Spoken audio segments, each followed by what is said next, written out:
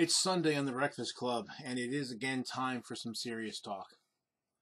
Now, I've been a science fiction fan since I was a kid, and I tend to like the older shows uh, compared to the newer ones. I, I, like the original Trek series to the later stuff.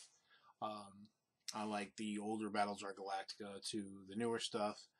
Um, I like Babylon 5, um, and pretty much everything else. I like the old Star Wars to the new. And, you know, one of the big things for me is that the older stories could not rely on their big budgets and flashy sound, flashy images and sounds, uh, and a lot of action, and they had to be story driven, particularly on Star Trek. Uh, people, you know, will make fun of the, the low production values now, uh, but you know, back in the '60s, that was you know uh, pretty good stuff for the time for television. Uh, so it's easy to to just look at that and and and really not see how much deeper those stories were. Uh, you know, it had its turkeys too, but there's some really good stuff there. And and while the newer Trek Next Gen, Deep Space Nine, Voyager, Enterprise, um, you know, there there was there's some good stuff there as well. But there's just way too much reliance on you know a Deus Ex Machina. They there's they, the stories go from being character driven to technology driven um, and and you know as many explosions and flashy lights as, as possible. Um, and it seems that that's kind of indicative of what's going on. You know, I'm just thinking about other television. You know, reading about some of the contrivances that are on some of the uh, uh, home shows, some of the home flipping shows. You know, these people that uh, that you know tear down houses and rebuild them and so forth and how much of those shows, you know, because they have a formula they have to follow, and if the facts don't fit the formula, they'll they'll make modifications to the truth. um, even uh, you know the the restaurant makeover show is the same thing. Uh, I was actually part of me. You can see actually see me in an episode of Kitchen Nightmares, and while you know no one was told what to say, you know the audience was somebody who was invited. You know you actually had to apply to be there. I actually got in because I was a guest of the owner of the store. But uh, generally speaking, you know, this is still a contrived uh, circumstance. Um, you know, it's it's real, but not entirely real, and it just feels like that's where we've gone. You know, in our society as a whole, it's not just television. Television and movies are just a reflection of of, of the society who watches them.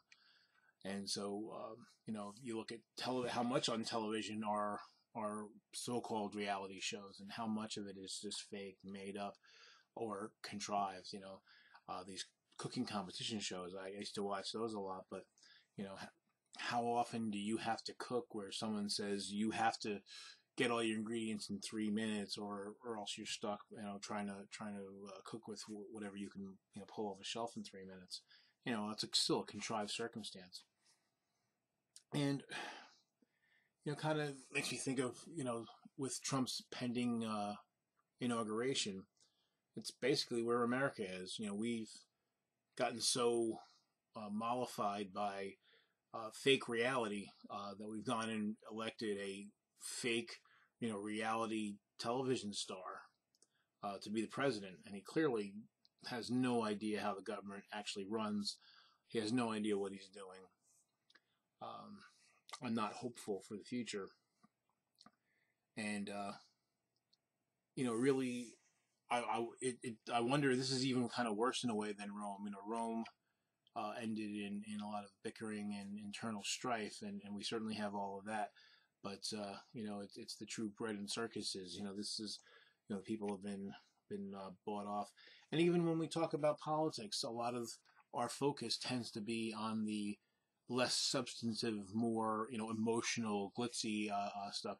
You know, I think about you know Trump's thing now with the uh, you know the the BuzzFeed story about you know PP Gate, whatever we want to call it, and ultimately, you know, if even if it's true, it's fairly inconsequential as far as what's actually going on. Um, it you know it's funny to laugh at, sure, but you know my my concern about Trump isn't whether or not he you know had some women pee on a bed or whether he did it to you know because the way he feels like Obama, which is kind of unbalanced and unsettling. But you know, while this is all going on, while we're focused on the superficial, you know, the safety net is being dismantled uh, in very short order. Um, and you know what's happening on the left. You know, we're bickering amongst one one another, and there's some reasonable areas of difference, but a lot of it is really again BuzzFeed, uh, clickbait driven, where people just read the title and, and don't really look in deeper to see what's really going on. So you know we we know we amp up and we yell and scream at each other um, based on pretty much nothing. You know, it's almost all fake news anymore. Uh, there's real news out there, but no one cares. No one really pays attention to that because we're we're busy watching all the superficial stuff.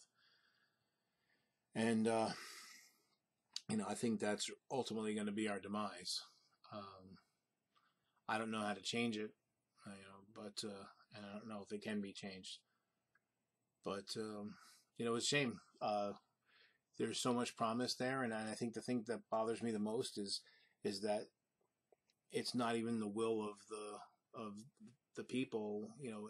But the problem is the people are too busy and too lazy, you know, too busy uh, distracting themselves with uh, bright lights and uh, big big sounds, big explosions, uh, and PP Gate and and you know uh, you know, he called her this and he made fun of that person.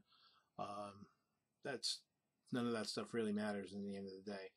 But, uh, you know, uh, the safety net going away, it's going to impact a lot of people and uh, including relatives of mine. And, and, I'll probably get that into that in another video. But, uh, if you have any thoughts, uh, if you agree, disagree, let me know in the comments and, uh, see you next time.